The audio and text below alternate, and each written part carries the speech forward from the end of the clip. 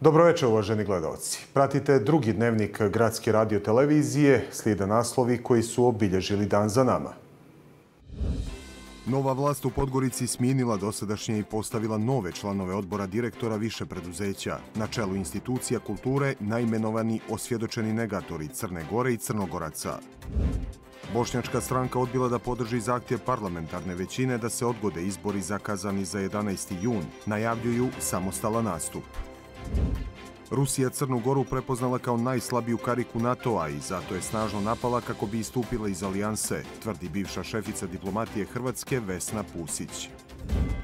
Više od 13.000 djece u Crnoj Gori nije primilo ni jednu dozu MMR vakcine i zato prijeti izbijanje epidemije malih morbila. Kažu stručnjaci i ponavljaju da ona ne izaziva autizam. Nova vlast u Podgorici smijenila je na današnjoj sjednici Skupštine glavnog grada, članove odbora direktora više preduzeća, kao i upravnih odbora i savjeta agencija i ustanova. Gradska opozicija poručuje da su sastavi novih odbora primjer političkog revanšizma sa najmenovanim kadrovima bez adekvatnih kvalifikacija. Ukoliko dođe do zapošljavanja po osnovu partijske i vjerske pripadnosti, u Evropi sad obećavaju da će tražiti razrešenje novih članova. Podgorička preduzeća i ustanove od danas imaju nove odbore direktora koje je imenovala nova vlast. Opozicija je kritikovala većinu imenovanja jer, kako kažu, nemaju dodira sa profesijom. Kada je riječ o biografijama, dozvolite da pročitam jednu. Neću navoditi ime gospodina jer ste dobili, nadam se, u materijalima, ali recimo imamo radno iskustvo od 1996. do 1990. godine u jednoj privatnoj kompaniji, firmi, a onda 2003. 2008. 2011. 2013. Za period od 10 godina nečijeg profesionalnog života, angažmana, nemamo ni riječi. Provjerom u evidenciji u Centralni registar Privrednog suda vidimo da su sve tri kompanije bivše kompanije. Ili su likvidirane ili u stečaju. Opoziciji je sporno što je jedan od članova Savjeta Narodne biblioteke Radosav Ljumović Novica Đurić, koji je, navodi Zeković, podržavao stavove da crnogorska kultura nigdje ne postoji. Grđi od njega, naravno ne mislim vizuelno, nego mislim u ideološkom smislu, je gospodin Dragan Koprivica, kojeg je također predložen za jednu od kako da kažem, upravljačkih e, tijela, svoje vremeno njega je radikalska vlast u Beogradu ovaj, angažovala da sprovede jednu ozbiljnu političku čistu, čistku nepodobnih profesora na Filozofskom fakultetu Univerziteta u Beogradu, a pamtimo ga i kao jednu vrstu eksperta, odnosno agenta provokatora, bivše ministarke Vesne Bratić u, vlad, u, ranio, u ranijoj vladi. U DPS-u su tražili od gradonačelnice Injac obrazloženje za svako imenovanje, navodeći da je u odborima preduzeća i Mihajlo Čađenović, koji je bio osuđen u prvom suđenju za pokušaj državnog udara 2016. Da li odbornici pokreta Evropa sad postaju taster odbornici, kako se godinama unazad spočitavalo odbornicima Demokratske partije socijalista? Zaista bih voljela da znam da li kolege koji će danas dići ruku za ova rješenja, sve kolege koji će dići ruku, stoje uh, onako punim srcem uh, iza, iza, iza njih ili misle da su u potpunosti ili makar jednim dijelom obmanuli uh, građane glavnog grada koji su glasali za njih. Podjela odgovornosti, kolege. Podjela odgovornosti. Mi smo koalicioni partneri, oni predlažu, daju svoje predloge za one ljude za koje oni smatraju da treba i da mogu da obavljaju te poslove, unutar upravnih odbora, dakle preduzeća, ali u svakom slučaju to znači da svaki od nas, kao dakle koalicijalnih partnera, partija koja čine ovu koaliciju, ima i individualnu odgovornost za, ono, za ona imenovanja. Što se tiče kadrova naših koalicijalnih partnera, vidite, neke građani Podgorice se opredijele prema tome. U ime pokreta Evrope sad mogu reći sljedeće, naši kadrovi i naše rešenje su pardon, ljudi koji su kompetentni, koji su obrazovani, koji su prije svega častni i koji nisu pod istragom. I također kažem, nekorumpirani. Nove članove odbora direktora dobili su i čistoća, vodovod i kanalizacija, parking servis, tržnice i pijace, pogrebne usluge, zelenilo, deponija, komunalno-sportski objekti i putevi. Formirana je i izborna komisija glavnog grada, dok je za potpredsjednika Skupštine izabran funkcioner demokrata Branko Vuković. A na današnjoj e, sjednici za članove Savjeta Narodne biblioteke Radosav Ljumović i javne ustanove muzeji i galerije Podgorice najmenovani su osvjedočeni negatori Crne Gore, Crnogoraca kao i crnogorske kulture i identiteta, kažu sagovornici gradski. Novi predstavnici vlasti u Savjetima Narodne biblioteke Radosav Ljumović i javne ustanove muzeji i galerije Podgorice, kako je naglašeno, pripadaju ideološkoj matrici, koja od početka 90-ih radi protiv vrijednosti na kojima počiva Crna Gora. Marina Jočić, Emilo Labudović, Bećir Vuković i Novica Đurić istakli su se minule tri decenije u negiranju crnogorskog identiteta i jačanju srpskog nacionalnog korpusa skandalozna imenovanja ljudi koji su na portalu Infors izdašno slavili rat u Ukrajini, veličali Putina, negirali i vulgarizovali crnogorsku naciju i jezik kao i nezavisnu državu, omalovažavali manjinske narode. Sve antigrađansko i protivzapadno ušlo je juče na vrata Podgoričke uprave sa zelenim svjetlom navodno evropskih partija od URE i demokrata do Evrope sad. Kako piše pobjeda, Bećir Vuković koji je od danas u Savjetu Narodne biblioteke je između ostalog u autorskom tekstu za portal Vidovdan iznio niz uvrijedljivih kvalifikacija na račun crnogorske nacije, navodeći da ne postoji i da su je izmislili nekadašnji komunistički funkcioner i disident Milovan Đilas i Kominterna. U negiranju svega crnogorskog ne zaostaje ni Novica Đurić, pjesnik, pisac i novinar, predsjednik Udruženja književnika Crne Gore i jedan od osnivača Srpske kuće. Aktuelni direktor Srpske kuće u Podgorici Emilo Labudović kao novinar radiotelevizije Crne Gore perjanica ostrašćenog izvještavanja o ratu u bivšoj Jugoslaviji, bombardovanju Dubrovnika i pobornik politike Slobodana Miloševića, danas je istaknuti dio politike koja negira državu Crnu Goru, Crnogorce i njihov identitet.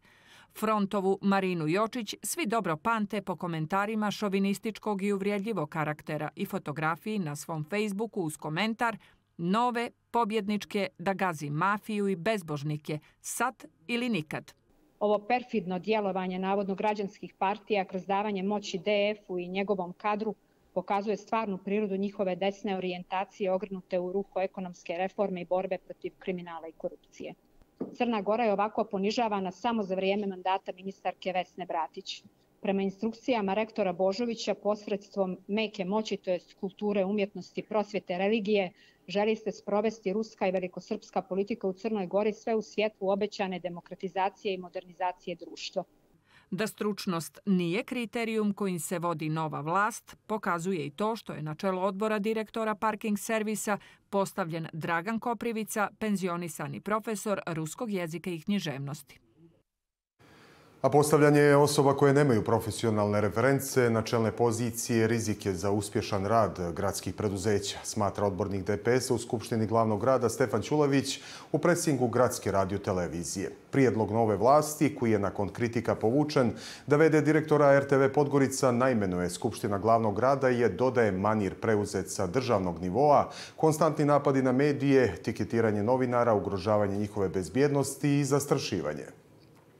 Na čelne pozicije u gradskim preduzećima postavljeni su ljudi koji nemaju profesionalne reference za te funkcije, kazao je Ćulafić i dodao da postoji bojazan da može doći do narušavanja rada gradskih preduzeća i službi koje su besprekorno funkcionisale. Uprko s obećanjima i uprko s onim e, nekim predizbornim trikovima kojim su se služili e, ovi, ove političke strukture koje trenutno e, imaju većinu u gradskom parlamentu, E, mi vidimo da oni danas e, brutalno gaze sve ono za što su se zalagali u predizbornom, u predizbornom ciklusu i danas provode jedan revanšizam prema ljudima koji su do sada obavljali te funkcije na e, način koji je neviđen, neviđen u Crnoj Gori. Govoreći o prijedlogu za izmjenu odluke o osnivanju lokalnog emitera radio televizije Podgorica, gradonačelnice Olivere Injac, Ćulafić ističe da je neshvatljivo da lokalni parlament pošalje materijal po hitnom postupku, a onda ga povuče i podsjeća da je ideja osnivanja gradske bila da se formira servis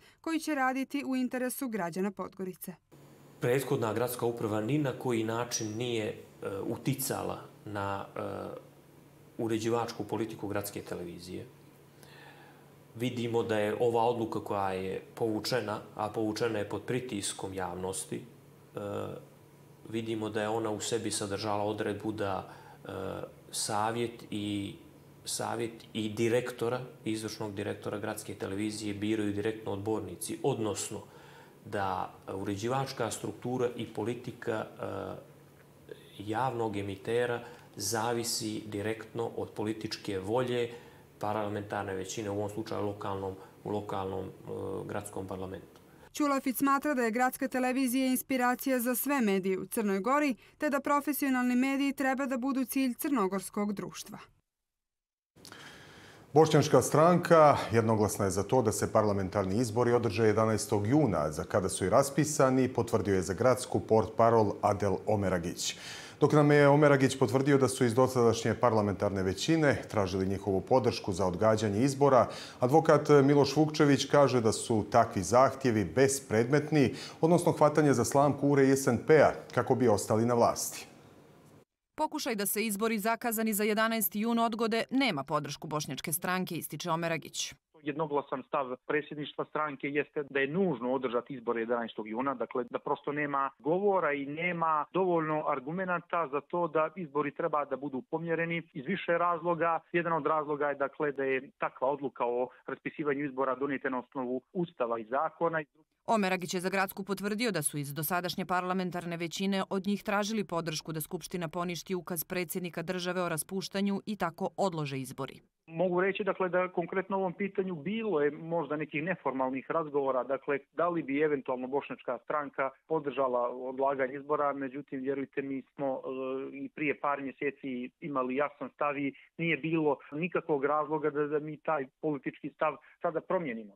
Skupština po Ustavu nema nadležnost da poništava ukaze o raspuštanju jer bi tako preuzela nadležnost Ustavnog suda, pa je takav pokušaj bespredmetan, kaže advokat Miloš Vukčević.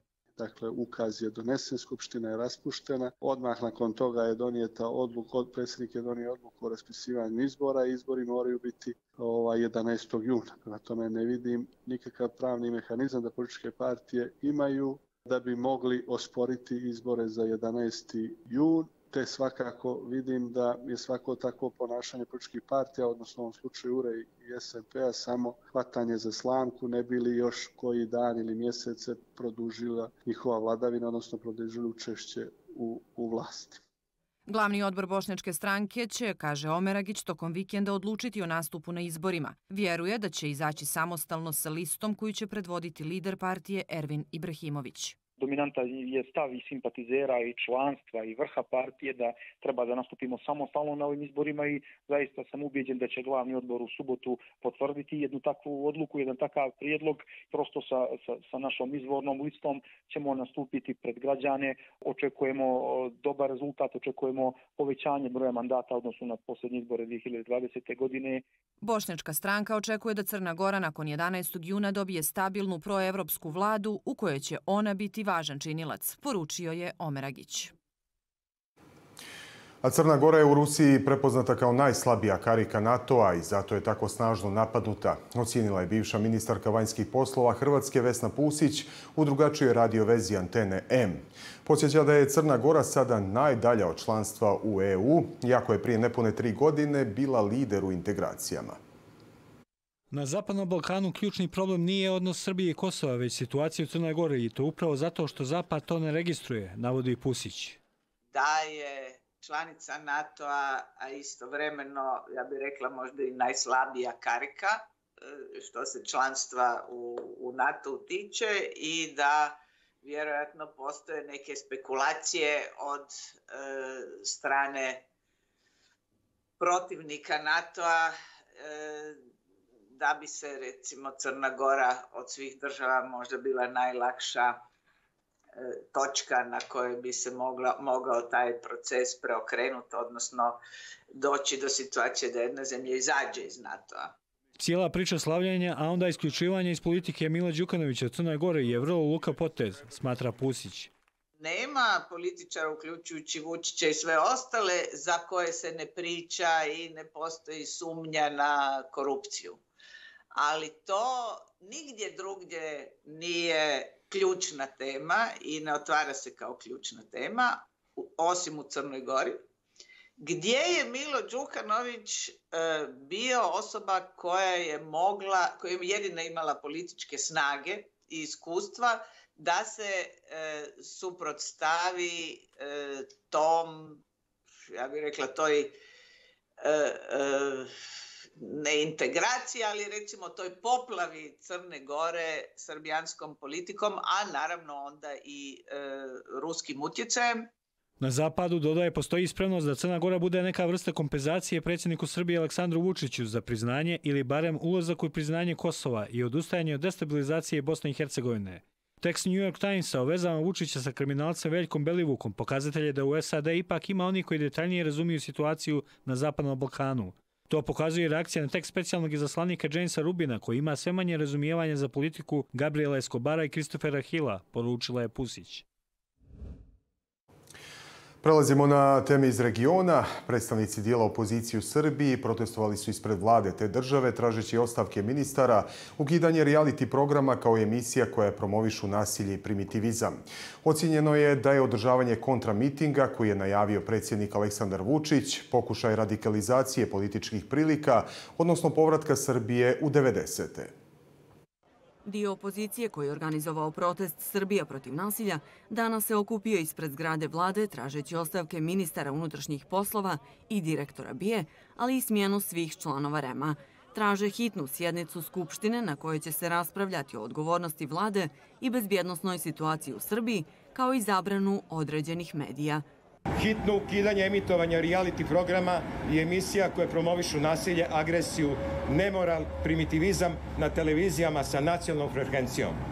Zabrana štampanih medija koje svojim sadržajem promovišu primitivizam i nasilje, objavljuju lažne vesti i krše novinarski kodeks. Smena rukovodstva RTS-a zbog emitovanja programa koji promovišu i afirmišu nasilje, kriminal i agresiju, oduzimanje nacionalne frekvencije TV Pink i TV Happy zbog kršenja zakona i promocije nasilja, agresije i nemorala. Vučićeva najava kontra skupa odraz je nesigurnosti i nemoći, smatra poslanik Narodne stranke Borislav Novaković. On pokušava ovim mitingom, koji unapred karakteriše kao najveći u novijoj istoriji Srbije ili već koji je izraz upotrebio, pokušava da ohrabri vlastito biračko telo. Dakle, potpuno je jasno da se dogodio presedan, da, je, da su dani koji su ostali iza nas istorijski u najtragičnijem značenju tog izraza, jer se to nikada nije dogodilo u Srbiji. I on sada pokušava da uputi poruku svom biračkom telu da se ništa nije dogodilo, da je on onaj stari, da on i dalje kontroliše situaciju. Srbije navodi potreban dijalog kako se tragedije kao u Beogradu i Mladenovcu više nikada ne bi ponovile. Smatra da je prijedlog za izbore u ovom trenutku manipulacija i pokušaj skretanja pažnje sa tragičnih dešavanja u društvu. U momentu kada bi svaka emocija i sve što radimo trebalo da bude usmereno prema a, tim ljudima koji su ostali bez svojih najmiliji, u, u građenju jedne solidarnosti, osjećaje pripadnosti, da. da nekako prebolimo ovo, oni dodatno raskopavaju političke rane i dosuljavaju. Sagovornici lista danas ocjenjuju da se Vučić plaši scenarija koji je srušio režim Slobodana Miloševića. Politički analitičar Dragomir Anđelković kaže da Vučića ne plaši opozicija, već sve veće razočarenje dijela njegovih pristalica i aktiviranje pasivne, često apolitične Srbije. Upravo zbog toga, kaže Vučić, želi da demonstrira moć usiljenim okupljanjem što većeg broja pristalica na kontramitingu. A Ukrajina još nije spremna za veliku kontraofanzivu protiv agresora, ali će povratiti svaki dio okupirane teritorije, poručuje predsjednik Volodimir Zelenski. Dvije osobe ubijene u fabrici Mercedesa u Njemačkoj, četvoro povrijeđenih u eksploziji kamiona u centru Milana. U nastavku vijesti svijeta. Žestoke borbe i dalje se vode u Bahmutu. Ukrajinci tvrde da se ruski agresor povukao i do dva kilometra na istoku grada. I dok ruska plaćanička grupa Wagner tvrdi da su Ukrajinci počeli kontranapad, ona će uslijediti kad Kijev bude spreman, poručuje predsjednik Volodimir Zelenski. Sa onim što imamo možemo uspješno da napredujemo, ali izgubili bismo mnogo ljudi. Mislim da je to neprihvatljivo. Dakle, treba da sačekamo. Treba nam još malo vremena. Velika Britanija potvrdila je da će isporučiti rakete dugog dometa Ukrajini nakon što je Rusija nastavila da gađa civilne objekte. Iz Moskve su ranije prijetili kako bi snadbljevanje Ukrajine tim oružjem značilo prelazak preko crvene linije i da će adekvatno odgovoriti.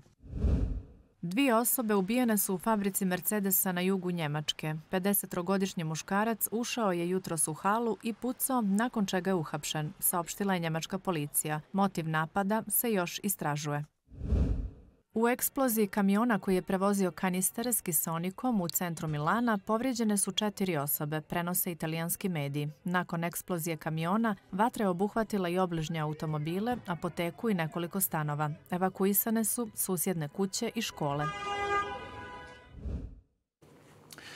Vraćamo se domaćim temama. Regionalni fond za izazove uručuje nagrade najboljim konzorcijumima. Dva najuspješnija projekta iz Crne Gore predložena su za finansiranje u okviru drugog poziva Regionalnog fonda za izazove, dodjeljujući im 693.000 eura za opremanje i unapređenje infrastrukture ustanova za stručno obrazovanje, kao i obuke učesnika programa kooperativnog obrazovanja. Grantovi o kojima danas govorimo osnažuju konkurentnost preduzeća na Zapadnom Balkanu kroz finansiranje investicija u opremu i infrastrukturu za projekte kooperativnog obrazovanja koji se sprovode u partnerstvu obrazovnih institucija i kompanija. A žičara koja će povezivati Kotor i Njeguše biće svečano puštena u rad 13. jula na Dan državnosti, saopštena na sjednici vlade u tehničkom mandatu. Dogovor koji imamo sa sa Martinom Leitnerom, znači firmom koja operira e, žičarom, jeste da, koji smo već nekako i ozvaničili, ne znam da li je to javljeno u mediji, ali to je dogovor konačni, da se svečano otvaranje žičare desi 13. 13. jula. To je to, imaćemo u toku juna probne vožnje, a ta svečanost će se vezati za nas, za naš državni praznik. Nema dokaza da MMR vakcina izaziva autizam kod djece i roditelji nemaju razloga za brigu, kaže epidemiolog Adis Martinović. Martinović je u emisiji Znam da znaš gradske radiotelevizije upozorio da više od 13.000 djece u Crnoj Gori nije primilo ni jednu dozu te vakcine i da je zato moguće izbijanje epidemije malih morbila. Kampanja vakcinacije MMR i vakcinom protiv HPV virusa sprovodi se u okviru pedijatrijskih punktova u domovima zdravlja. U domovima zdravlja u Crnoj Gori počela je kampanja vakcinacije MMR i vakcinom protiv HPV virusa. U ovom prvom, da kažem, prvom talasu tog rada vikendom obuhvatit će nas djeca predškolskog uzrasta, znači sva ona djeca koja su rođena od 2017. do 2021. a nisu primili ni jednu dozu MMR vakcine. Oni će biti obuhvaćeni trenutno ovim vikendima, a u narednom periodu će se taj obuhvat i poziv proširiti za stariju djecu. Iako je od početka godine vakcinisan veći broj djece nego prošle, Martinović upozorava da su nevakcinisana djeca epidemiološki rizik obolijevanja od morbila, što bi navodi uticalo na sve u Crnoj Gori.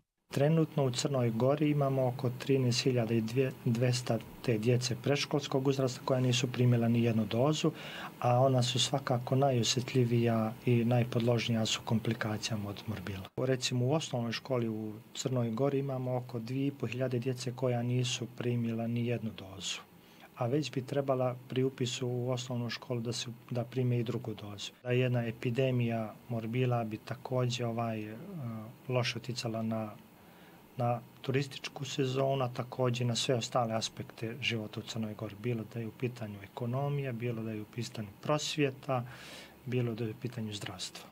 Iako nema dokaza da je MMR uzročnik, roditelji uglavnom iz straha od autizma ne vakcinišu djecu, kaže Martinović. Mi apelujemo i preko medija, i preko javnih poziva, i preko direktnih savjetovanja roditelja, najčešće u domovima zdravlja, da te dvije stvari nisu apsolutno povezane. Znači, MMR vakcina je dokazano da ne izuziva autizam niti slične bolesti. Kampanjom se dodaje Martinović sprovodi i vakcinacija protiv HPV virusa namijenjena djevojčicama od 9 do 14 godina koja podsjeća štiti od infekcija povezanih sa humanim papiloma virusima. Ambulanta Nova Varoš od danas neće pružati zdravstvene usluge djeci u terminu od 21 do 7 sati. Za sve hitne situacije, roditelji nakon 21 sat, djecu treba da vode u Institut za bolesti djece. Sve druge zdravstvene usluge koje nije su hitne, djeca će moći ostvariti kod izabranih pedijatara od 7 do 21 sat, a vikendom i praznicima u istom terminu ambulanti Nova Varoš. Saopšteno je iz Doma zdravlja glavnog grada. Treći podgorički salon vina, koji će da bude organizovan sjutra, posvećen je promociji vinara i vinske kulture, ali i pozicioniranju glavnog grada kao vinske destinacije, ističu organizatori. Za podsjetioce bit će upriličina cijelodnevna degustacija vina, kao i muzički program. E, događaj je zamišljen kao jednodnevni degustacioni e, događaj koji će početi u 16 časova. E, sama degustacija vina će trajati izlaganje do 10 časova uveče, a nakon toga smo priredili mali after party za sve ljude koji žele da ostanu. I ovog puta imamo dominantno podgoričke vinare iz regiona oko Podgorice. Tu je 27 vinarija, međutim sada imamo i 7 gostućih vinarija iz drugih regiona. Tako da imamo nekoga tamo iz dijela Crnice, iz dijela Bobije, oko Cetinja, i sl. U fotogaleriji F64 prethodne večeri otvorena izložba prolaznici hrvatskog fotografa Zorana Kolarića. Postavku čini 30 crno-bijelih fotografija nastalih tokom autorovog boravka u nekoliko evropskih gradova.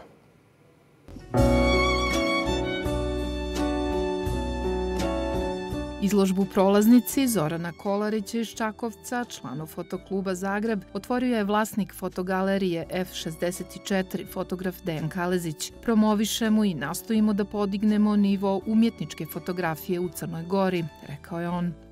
Prvi put da gostuje autor iz e, Hrvatske i jako mi je drago zbog toga.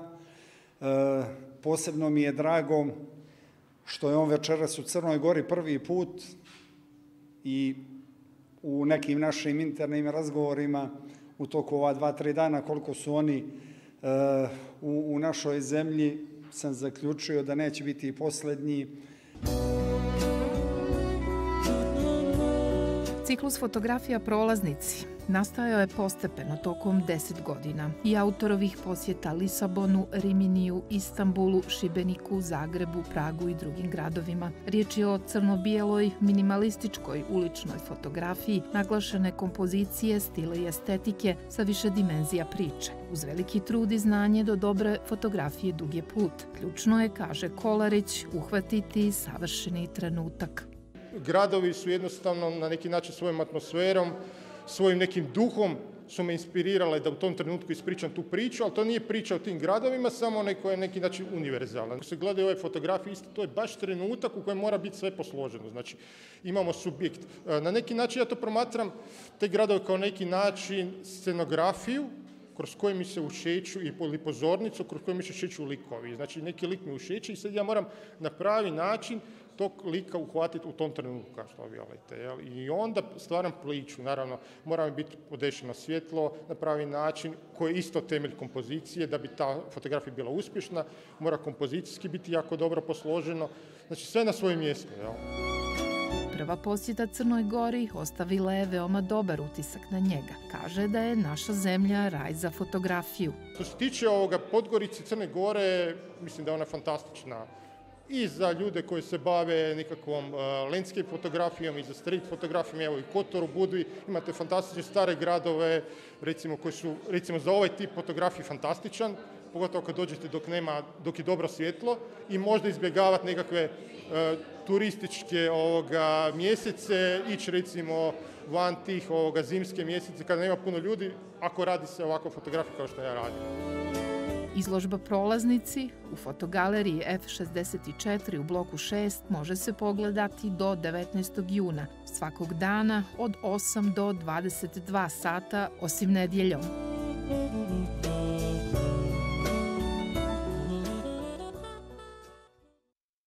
Uvaženi gledalci, bilo bi to sve što smo vam pripremili za večeras. Slide meteo i sportske aktuelnosti. Hvala na pažnji i želimo vam ugodan ostatak večeri.